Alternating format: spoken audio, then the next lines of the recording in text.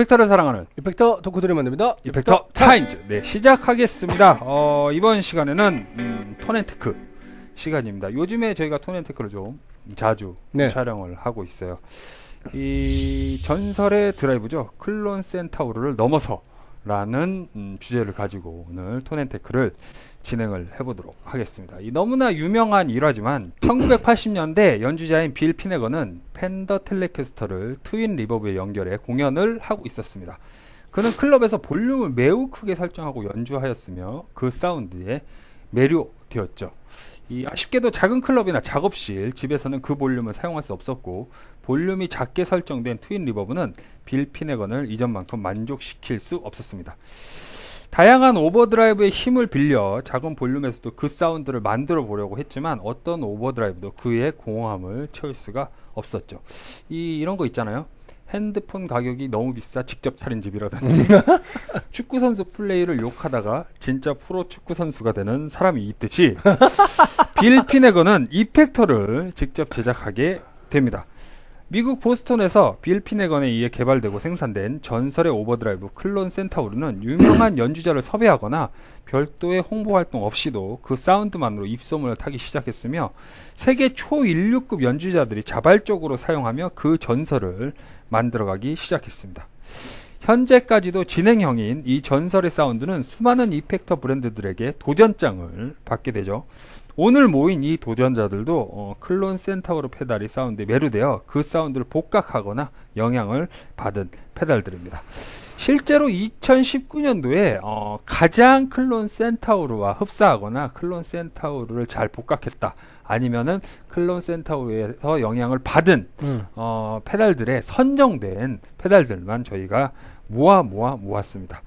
Bondi의 Sick As, Wampler의 Tumnus, 매튜스의 아키텍트 V3, JHS의 Electro-Harmonix Soul Food Meat & 3 mod 요렇게 네 가지 이펙터 사운드를 들어보면서 과연 Klon Centaur의 사운드는 어떤 매력을 가지고 있는지 연구해보는 시간을 가져보도록 하겠습니다. 저희가 대부분 음. 아 반은 다르고 반은 다르지 않았던 네네. 음, 페달이네요. 그러네요. 어, 이 뭐랄까 가난한 자들의 Klon이라고 불리웠던 어, Soul Food가 오늘 음. 어, 올라왔는데 실제로 그 Electro-Harmonix의 Soul Food 어, 만을 가지고는 아쉬움을 느낀 JHS에서 mod를 시킨 음. 어, 페달로 어, 올라왔습니다.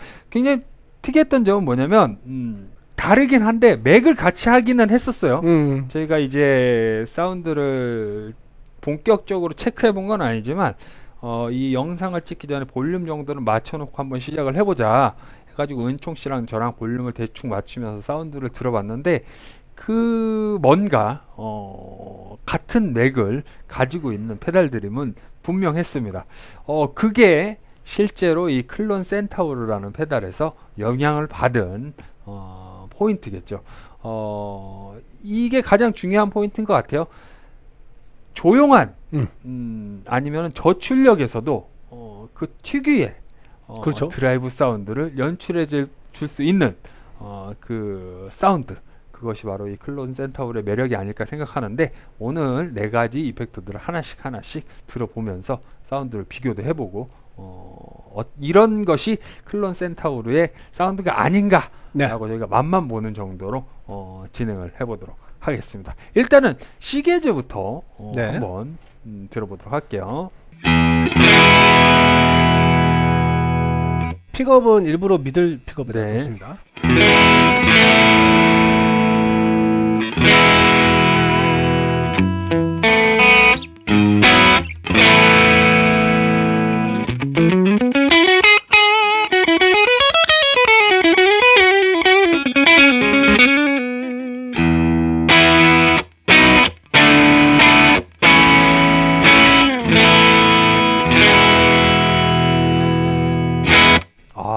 아, 언제 들어도 시계즈는 시계즈다. 네.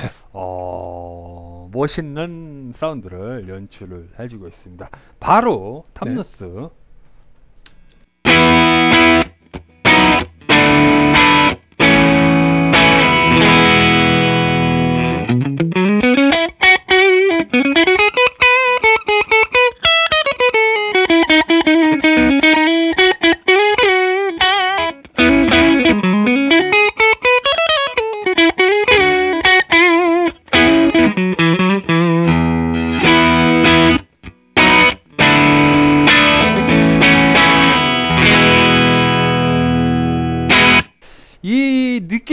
느끼셨을지 잘 모르겠어요. 이 공통 분모가 있다라는 거를 어, 시청자분께서 어느 정도 느끼셨는지는 모르겠지만 현장에서는 물론 다른 임팩터지만 어, 흡사한 부분이 분명히 어, 존재합니다. 어, 다음 저희가 어, 이전 시간에 저희가 다뤄봤던 매튜스의 아키텍트 V3라는 어, 또 새로운 이펙터입니다.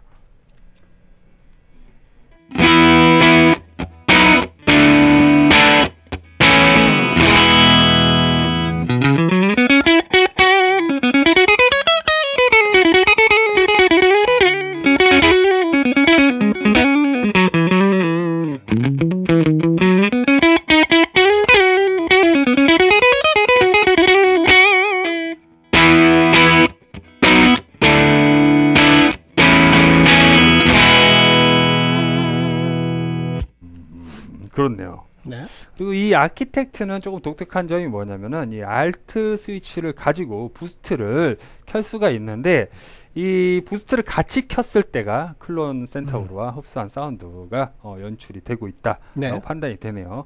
다음은 Soul Food.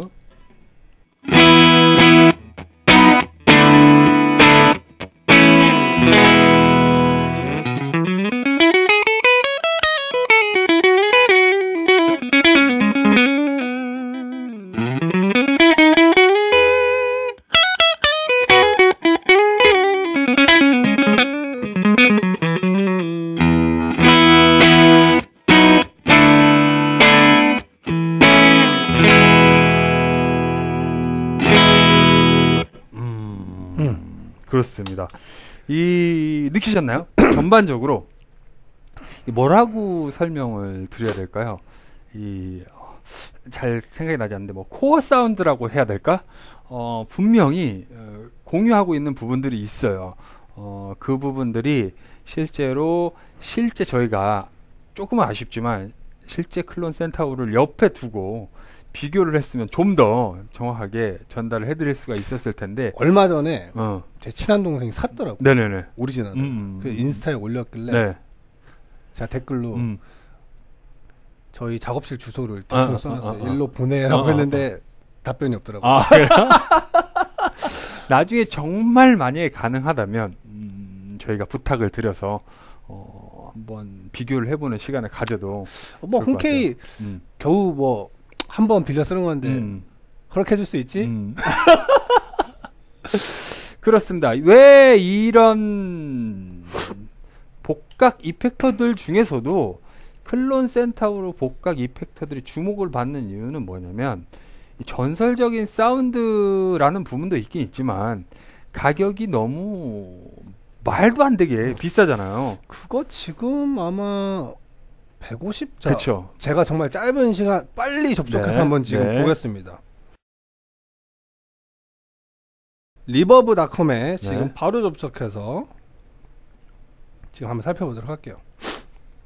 그 사실 정말 누구나 갖고 싶어하는 음, 페달일 거예요. 음. 조금만 저기 갖고 이제 뭐냐 그 이펙터에 관심 많으시면 은총 씨도 그 게임 그 킹오파 같은 거 하시죠? 네네네 어, 지금 핸드폰으로 일종의 가챠 게임이라고 하잖아요. 네네네. 뭐냐면 뽑기 게임. 네네네네 캐릭터를 뽑아야 되잖아요. 그렇죠. 근데 이게 확률이 이 좋은 캐릭터일수록 확률이 낮잖아요. 약간 정말- 센터로 약간 그런 것 같아요. 정말 확률이 짜증나는 낮기 거죠. 때문에 그렇죠. 음. 더 갖고 싶은 스타일의 페달이 아닌가. 와 엄청나네요. 아. 일단은 지금 골드 시리즈 같은 경우는 네. 와 이거 이거를 일단 삼, 지금 제 눈에 들어오는 네네. 게 300 3,750달러거든요. 네네네. 그러니까 뭐냐면 300만 원 380만 넘어가는 원에서 거죠. 390만 원이죠. 이거를 들여고 관세 내고 네. 하면 거의 네. 이제 400을 찍겠다는 그쵸. 이야기고요. 앰프 헤드보다도 비싼 네네, 음, 지금- full stack 앰프 가격이 나오네요. 그리고 이제 그레이저 네. 저희가 알고 있는 대표적인 gray 모델 같은 게 지금 2,757불이네요. 음, 그러니까 뭐 음. 거의 300만 돈 가까이 네. 이것도 300만 네, 원 네. 돈이네요. 네. 그리고 뭐 그나마 지금 제일 싼 게 이제 non horse라고 해가지고 이제 horse 네. 안 그려져 그러니까 있는 안 거. 그려져 있는 어. 모델들이 지금 보면요. 네. 그제그 친한 동생이 샀던 뭐 어떻게 얼마 주고 샀는지 모르겠지만 아마 이 가격에 산 것 같습니다. 네. 뭐 1,700불에서 음. 지금 제일 싼 게 1,600불인 거죠. 어, 그러니까 결론적으로는 200만 원 정도.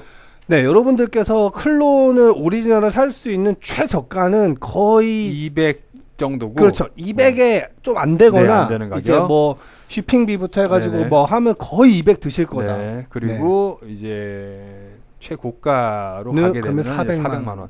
그러니까 실제로 풀스택 앰프 네. 가격이 나오게 되는 거죠.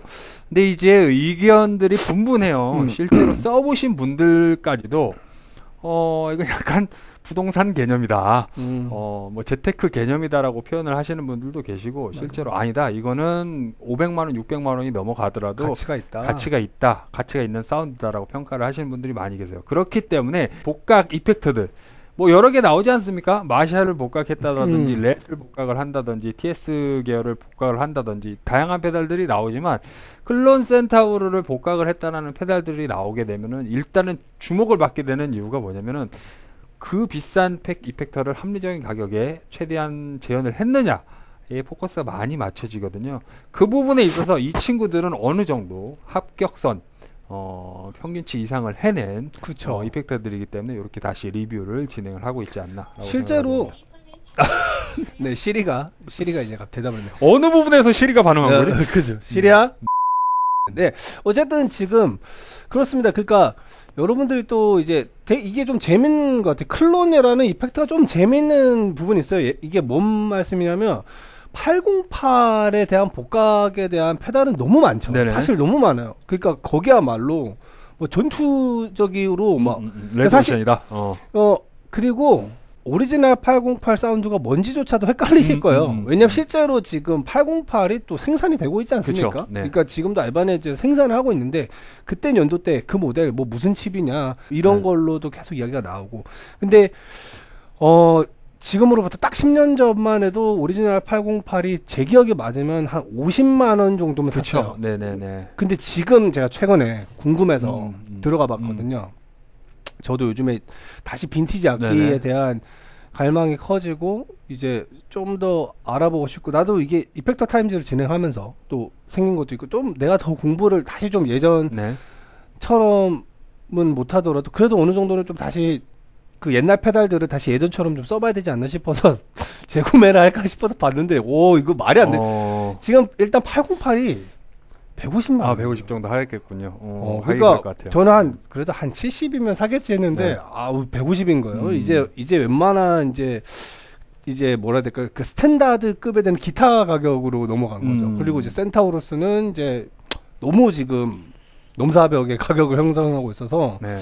아 이게 어렵습니다. 그렇습니다. 뭐 이렇게 타협이라고 표현하기에는 너무 쟁쟁한 브랜드들이에요. 음. 그러니까 뭐냐면은 아, 요 정도 가격에 타협해서 쓰자라고 하기에는 좋아요. 만점과 어, 충분한 사운드를 가지고 있는 페달들이기 때문에 오늘 사운드를 추가적으로 들려드릴 테니까 어, 관심이 있으신 분들은 매장에 오셔서 사운드 한번 들어보시길 추천을 드립니다. 이런 유저 있으면 좋을 것 같아요.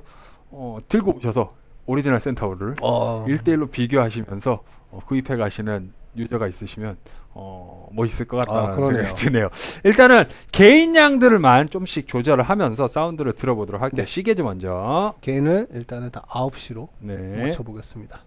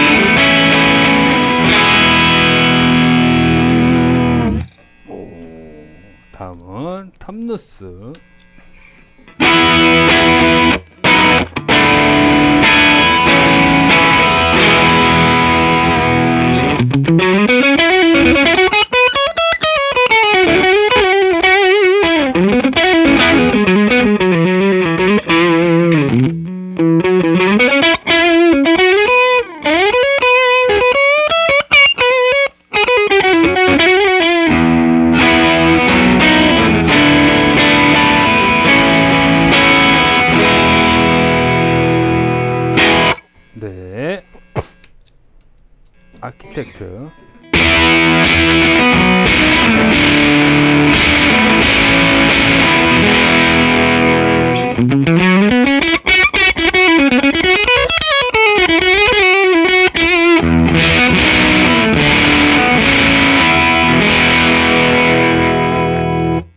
어, 여기서 이제 이게 이 좀 풀게인에서부터 조금씩 갈리기 그쵸? 시작하네요 이제.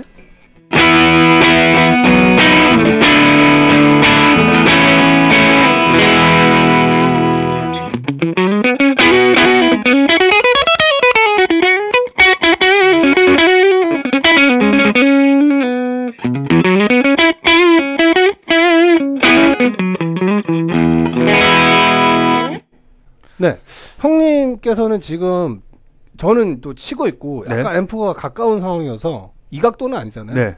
그러니까 좀 다이렉트로 두드려 맞고 그렇죠. 형은 네, 네, 맞고 네, 계시잖아요. 네, 네. 형님께서는 어떻게 뭐가 저는 약간 이런 되셨나요? 느낌이었어요. 뭐냐면은 개인 양을 적게 했을 때는 대부분의 이 어느 정도 공통 분모가 있었다라고 음. 생각이 됐었는데 개인을 높이기 시작할 때부터 약간 갈렸어요. 음. 그것도 물론 네 개가 네 개가 다 갈리긴 했지만은 크게 요렇게 반을 잘라서 요쪽과 요쪽이 좀 갈리더라고요. 그렇죠. 어, 그러니까 어. 정말 여기 저희가 그러려고 세팅을 해놓은 게 아닌데 네. 정말 신기하게 음. 저도 약간 그 이 친구들은 가다 휴게소로 나갔고 네네. 이 친구들은 여기 저기 졸음 쉼터로 갔어요. 어, 어, 어. 같이. 음. 약간 그런 느낌이 저도 있는 것 같아요. 음. 저도 아까 연주하다 보니까 아이고 연주하다 보니까 그 어, low gain 톤에서는 어, 그래도 뭔가 같은 집단이다라는 걸 느낄 수 있었던 네. 것 같아요. 근데 이제 gain의 색이 올라가면서 음.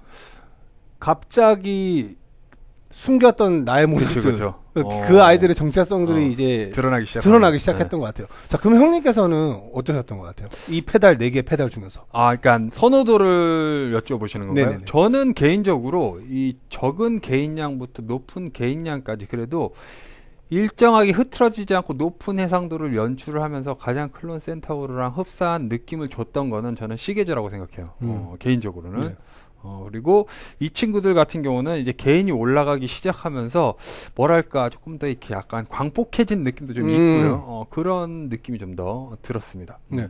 그 저 같은 경우도 뭐 일단 제가 느낀 음. 주관적인 감정입니다. 일단 시계드 같은 경우는 지금 실제로 저- 제가 사용하고 있는 제품이기도 네. 하고 이걸 가지고 이렇게 저렇게 다 음. 써봤으니까 너무 잘하고 있는 톤이죠. 네. 그리고 클론의 이제 사운드적인 것 잘 해석하면서 제가 시계를 여- 쳤을 때 연주할 때 느끼면 클론이 가지고 있는 그 특유의 청량함도 있지만 그게 자칫 잘못 쓰면 되게 소리가 쏘게 들리는데 네. 이제 시계즈 같은 경우는 그런 부분들도 컨트롤이 되게 가능하고요. 그리고 이제 그런 Klon류의 페달들이 또 아쉽다면 아쉬운 점이 뭐냐면요. 뭐 지금은 일단은 페달에 이제 저희가 EQ는 굳이 만지지 네. 않았습니다만 low가 좀 약간 빈다라는 음. 게 이제 Klon 페달을 쓸 때 약간 좀 아, 사람들이 음. 아쉬워하는 부분이 있어요. 근데 실제로 이거는 시계즈 같은 경우는 음. 베이스 treble 있잖아요. 네. 그 EQ로 그거를 충분히. 충분히 메꿀 수 있습니다. 근데 물론 뭐 되게 굉장히 fat한 사운드를 좋아하시는 분들한테 좀 힘들 수 있겠죠.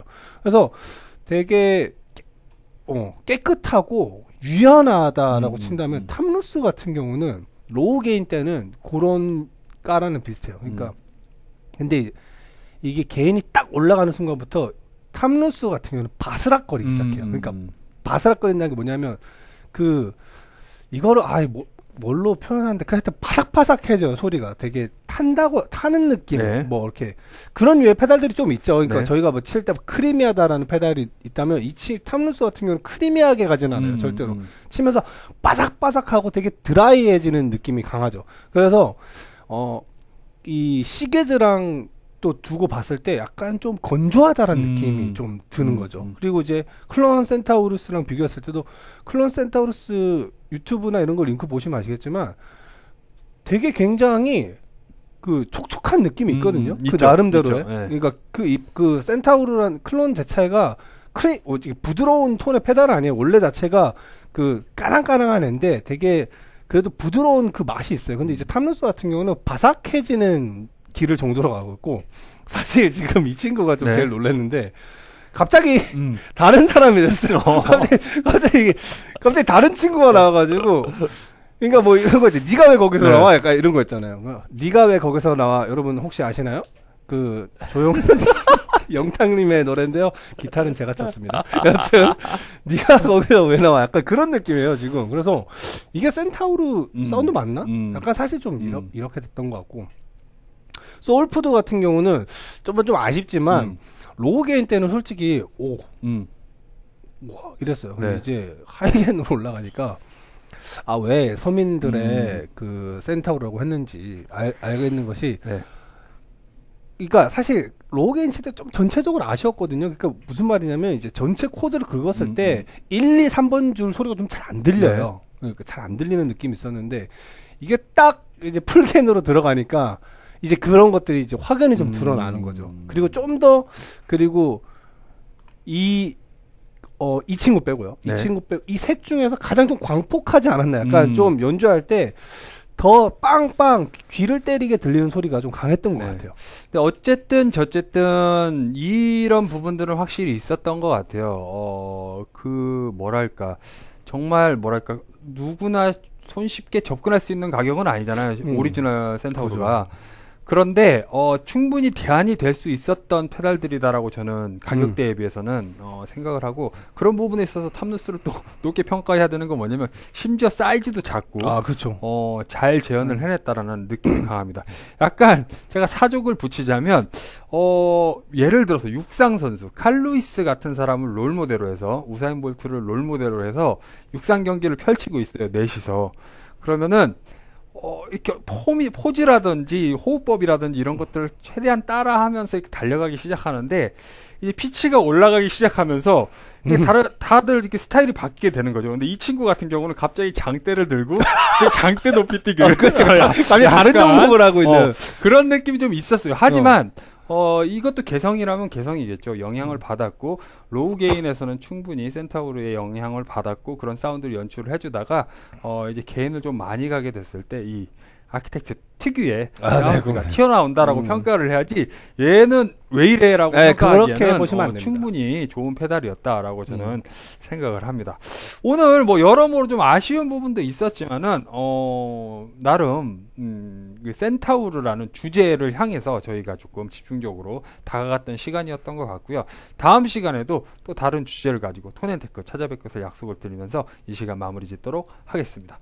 이펙터를 사랑하는 이펙터 덕후들이 만듭니다. 이펙터 타임즈. 네, 다음 시간에 뵙겠습니다. 감사합니다. 유튜브 구독과 좋아요는 우리에게 큰 힘이 됩니다.